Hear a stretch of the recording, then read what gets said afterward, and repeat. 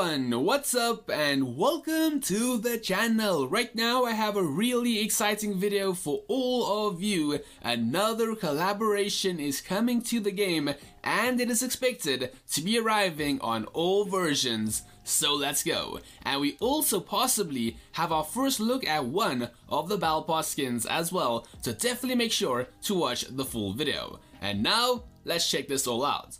So over here is the brand new promotional image showing off this new collaboration. So what is this new collab?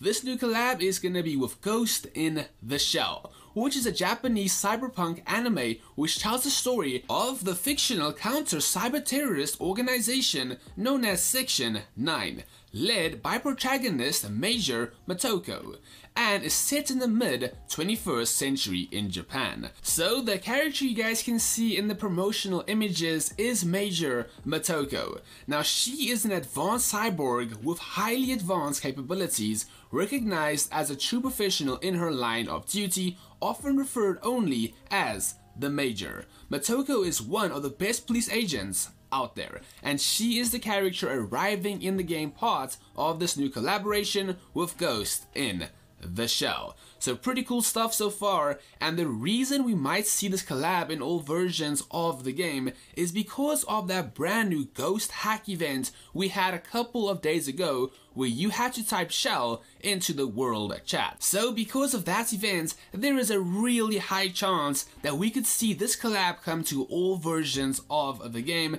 because that event pretty much ties all of this together. So what do you guys think about this new collab coming to the game? Are you guys excited or what? Give your thoughts and opinions down below. And now, let's move on some more. So, let's discuss a possible epic tier 50 battle pass blueprint, and that is the gun Motoko is holding.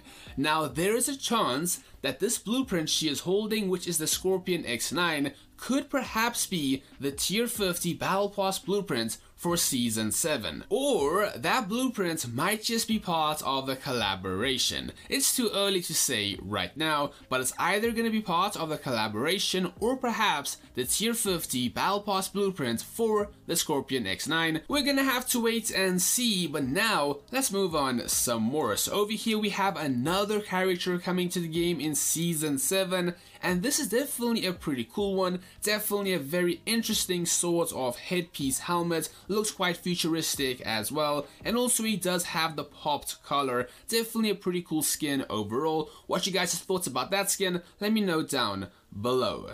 Now also over here we can see the brand new POI coming to Isolated replacing the Nuketown area known as New Vision City. And also in this teaser we can see that drones are coming to BR, possibly part of this brand new collaboration. That's definitely going to be pretty interesting. Also, if you guys do want to learn more about New Vision City and what exactly is going to happen, definitely make sure to watch my previous video linked down below. And with that being said, that is going to be all for today's video. Thank you so much for watching. I hope all of you did enjoy. But for now, that's going to be all from me. Have a great day. I'll catch all of you guys tomorrow for a new upload. And for now, squally out and cheers. Bye.